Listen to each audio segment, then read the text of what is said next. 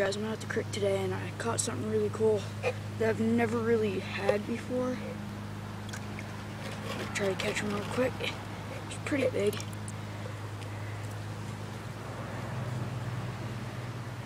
Look, little baby sunny. As you can see right there, he's a little baby sunny. I'm gonna take him home and stick him in my fish tank. I have more videos of him in my fish tank, but remember, rate, comment, subscribe, and I'll have the link to the video in my um, description box, but I'm gonna show you whenever he's in my fish tank. But um, rate, comment, subscribe for more videos.